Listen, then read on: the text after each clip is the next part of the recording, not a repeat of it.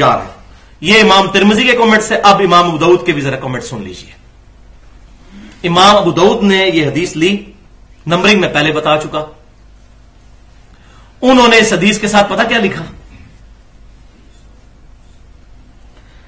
لئی سب صحیح اللہ المعنا اور ایک روایت میں ہے وہ سب صحیح اللہ لفظ ان الفاظ کے ساتھ ابن مسعود رضی اللہ تعالیٰ کی حدیث صحیح نہیں ہے۔ یہ بھائیوں کسی بریلوی دیوبندی اہل حدیث نے نہیں کہا۔ رف الدین کی بات ہوتی ہے کہتے ہیں انگریزوں کی پیداوار۔ یہ انگریزوں کی لکھی ہوئی کتاب نہیں ہے انگریزوں کی تو پیداوار وہ ہے کہ جو انگریز کے دور میں لکھی ہوئی کتابوں سے درس دے رہے ہیں پوری امت کو، قرآن کو اور حدیث کو چھوڑ کے۔ انگریزوں کی پیداوار تو وہ لوگ ہیں۔ انگریزوں نے نہیں بخاری مسلم لکھوائی سن نبی داؤد ترمزی انہوں نے نہیں لکھوائی۔ تو امام دعود نے ساتھ لکھا ہے وہ لئی سبھی صحیح حاضل مانا ان مانوں میں یہ صحیح نہیں ہے۔ اب ان کو پڑ گئی پیر جب انہوں نے اردو ترجمہ شائع کیا تو عربی بھی اس کی نکال دی جو ساتھ لکھا تھا نا امام ادود نے۔ بولی دو نمبر تو ہوتا ہے۔ اس نے تو اپنے فرقے کی عربی بھی نکال دی، ترجمہ بھی نکال دیا۔ یہ انہوں نے غلطی کی، لیکن ایک چور اپنی لنگوٹی چھوڑ کے بھاگتا ہے۔ دو لنگوٹیاں چھوڑی اس چور نے۔ ایک لنگوٹی یہ چھوڑی کہ جو کلمی نسخہ چھپا ہوا ہے، جو انڈیا پاکستان میں مدرسوں میں پڑھایا جاتا ہے۔ مکتبہ رحمانیہ کا، اس میں لکھا ہوا ہے، وہ لئی سبھی صحیح اللہ عادل مانا۔ ادھر سے نکالنا بھول گئے۔ چور لنگوٹی نہ چھوڑے تو ان بدماشوں کا پتہ کیسے چلے امت کو؟ امت کیسے ان کے دھوکوں سے بچے؟ اور دوسرا ان سے جو لنگوٹی ان سے چھوڑی گئی، وہ بڑے لیول کی لنگوٹی ہے۔ وہ یہ ہوا کہ مشکات میں بھی یہ حدیث موجود ہے۔ امام ولی الدین تبریزی رحمت اللہ علیہ بھی اس حدیث کو مشکات شریف میں آٹھ سو نو نمبر حدیث پر لے کر آئے۔ اور وہاں انہوں نے امام ابو دعود کے کمنٹس نکل کر دیے۔ اور مشکات آج سے سات سو سال پہلے لکھی گئی اور ابو دعود کے لکھنے کے پانچ سو سال بعد۔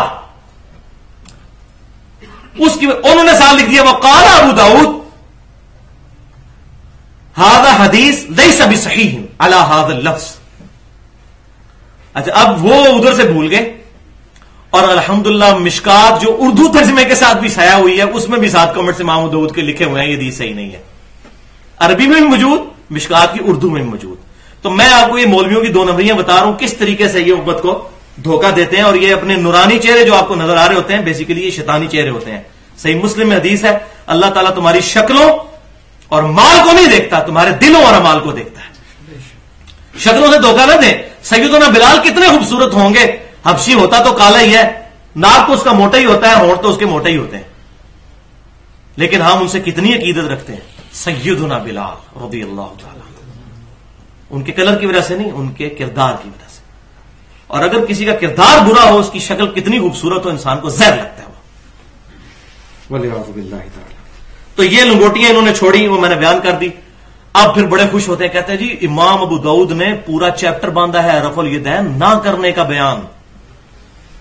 اب کوئی چیپٹر پڑھے تو پتا چلے یہ چیپٹر باندھا کس لیے ہوا ہے۔ اس تابوت میں آخری کیل ٹھوکنے کے لیے۔ انہوں نے باپ باندھا پورا رف الیدین نہ کرنے کا بیان اور پانچ حدیثیں اس میں لے کر آئے۔ ایک پہلی حدیث یہی جو میں نے بیان کر دی ابن مسعود رضی اللہ تعالیٰ کی، سات سو اڑتالیس نمبر۔ اس کے بعد سات سو انچاس، سات سو پچاس، سات سو اکاون اور سات سو باون۔ اگلی چار روایتیں سیدنا برا بن آزب رضی اللہ تعالیٰ سے لے کر آئے۔ پہلی روایت کے ساتھ الگ لکھا اور اگلی چاروں روایتوں پر الگ الگ بحث کی اور یہاں تک کہا کہ یہ اہل کوفہ نے رٹا دیے تھے الفاظ۔ اس حدیث میں، وہ حدیث کیا ہے برا بن عازب سے کہ نبی صلی اللہ علیہ وسلم نماز کے شروع میں ہاتھ اٹھاتے تھے۔ تو یہ تو ہم سب مانتے ہیں۔ آگے لفظ ایڈ کروا دیے، اس کے بعد دوبارہ نہیں اٹھاتے تھے۔ یہ تو ابن مسعود والی حدیث میں بھی نہیں ہے۔ تو امام دعود کہتے ہیں، یہ یہ راوی جب جو ہے، یہ کوفے کے باہر ملا تو وہاں اس نے الفاظ یہ ایڈ کر لیے۔ پہلے یہ نہیں کہتا تھا اور یہ اپنے جتنے جس استاد سے یہ حدیث بیان کرتا ہے تین شاگرد اور بھی بیان کرتے ہیں، وہ صرف اتنا ہی بیان کرتے ہیں کہ نبی صلی اللہ علیہ وسلم جب نماز شروع کرتے تو ہاتھ اٹھاتے تھے۔ تو اس میں کوئی جھگڑا ہے؟ نماز شروع کرتے تو ہاتھ اٹھاتے تھے۔ صرف شروع کے الفاظ بھی نہیں، نہ دوبارہ نہ کرنے، کوئی جھگڑا ہی نہیں ہے۔ تو کہتے ہیں، امام دعود کہتے ہیں یہ یہ ہوا۔ چاروں روایتیں نقل کی اور اینڈ پہ جناب کیل کیا ٹھوکا ہاضا حدیث لئی سا بھی صحیح یہ بھی حدیث صحیح نہیں ہے۔ پانچ روایتیں لکھ کر، ایک ایک پر بحث کر کے یہ باب کیا باندھا اصل میں؟ باب کیا باندھا ہے؟ یہ تو بےزتی کی ہے باب باندھ کے، اصل میں۔ تو میں اس لیے کہتا ہوں، امام بخاری اور امام مسلم سے بڑا کام امام ادعود نے کیا انہوں نے تو ان روایتوں کو اس قابل نہیں سمجھا کہ اپنی کتاب میں لے گئے، لیکن امام ادعود نے لکھ کر پورا چیپٹر بنا کے سجا کے جو ہے نا پلیٹ میں رکھ کے امت کے سامنے رکھا ہے کہ یہ جناب چیپٹر پڑھیں۔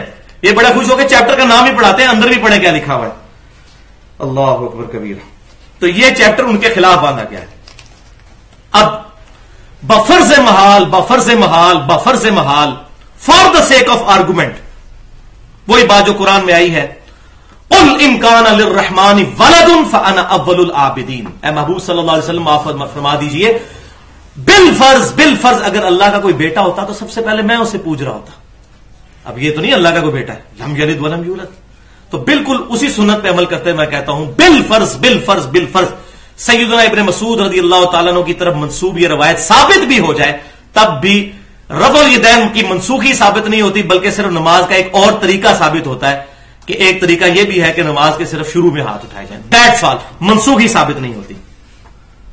لیکن احتیاط کس میں ہے؟ وہ میں نے آپ کو بتا دی، احتیاط کا بالکل ون سائڈڈ بات ہے۔ لیکن دنیا کے معاملے میں ہم بڑی احتیاط کرتے ہیں۔